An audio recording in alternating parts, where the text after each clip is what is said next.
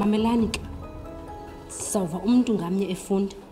kodwa ke namhlanje sifuna ukugxininisa into yoba sikhawulezise ufunda qonto uthi xa ufunda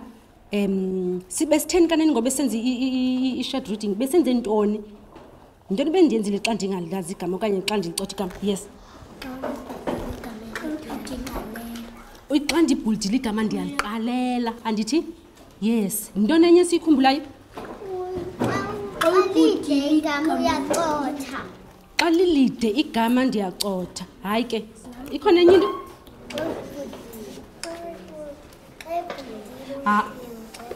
okay umntu xa ibhutile ndamxelela a-a ndizawuthetha le nto zimbini qha izinto bendizifuna okay okay yifunde yonke ke ngokula esasivakalisi qala eqaleni bonisa utitshalakazi iibhokisana zabo very good olandelayo asive khona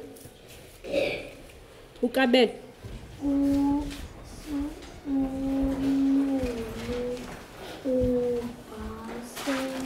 ufunda phi ngoku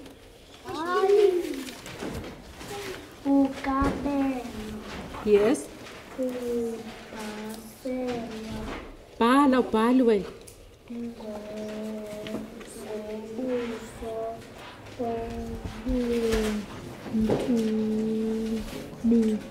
obu phinde ulifunde la gama obu obuntubu jonga liphinde ufunde ke ngokukhawulezise ke ngoku obu obumthubi qala eqala into ngoku esasivakalisa phindela ukabelo ukabelo mhm. uthe ubhaselwa ukobhu a-a ngo ngobuso obumthubi yes funeke sizame ukukhawuleza kaloku andithi sithi ukabelo ubhaselwa ngobusi obumthubi andithi sifuna ukhawulezisa xa siyifunda ne okay ufuna uzama inantsike isentensi yesibini